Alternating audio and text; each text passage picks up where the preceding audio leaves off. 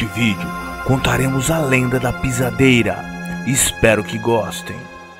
Bem-vindos ao nosso canal Contato Sobrenatural. A pisadeira é uma lenda do folclore brasileiro, muito popular no interior dos estados de Minas Gerais e São Paulo. De acordo com esta lenda, a pisadeira é uma mulher de aparência assustadora. Ela é alta, magra, possui unhas grandes e dedos compridos e secos, olhos vermelhos e arregalados, nariz comprido para baixo e queixo grande. Seu olhar transmite algo de maligno, assim como sua gargalhada, que mostra seus horríveis dentes verdes. Conta a lenda que a pisadeira fica rolando em cima do telhado das casas, à noite, observando os movimentos dentro da residência e ataca sempre que vê uma oportunidade.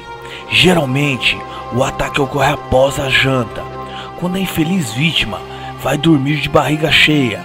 Esta é a hora preferida desta criatura macabra entrar em ação. Ela sai de seu esconderijo e entra no quarto, sem nunca ser vista por mais ninguém da casa, e pisa no peito da pessoa, deixando-a em estado de paralisia. Porém, a vítima da pisadeira consegue acompanhar tudo de forma consciente, o que traz grande desespero para a pessoa, pois fica totalmente impotente ao ataque da pisadeira. Apesar de sua aparência esquelética, a pisadeira apresenta um peso descomunal, assim como uma força muito grande para alguém de seu porte físico. Algumas pessoas que foram atacadas pela pisadeira afirmam não terem visto nada, só sentido a presença e o peso desta criatura.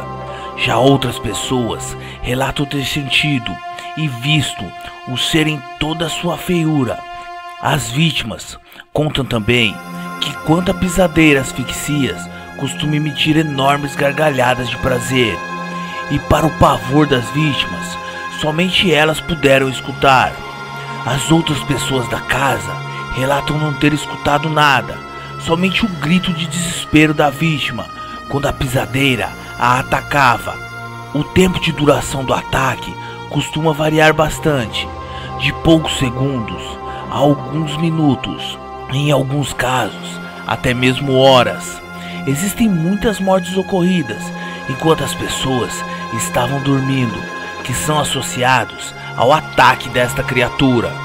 As pessoas que conseguem escapar do ataque dessa criatura nunca mais poderão dormir tranquilamente à noite, pois dizem que esta criatura se alimenta do medo das pessoas. Portanto, é provável que ela sofra um novo ataque.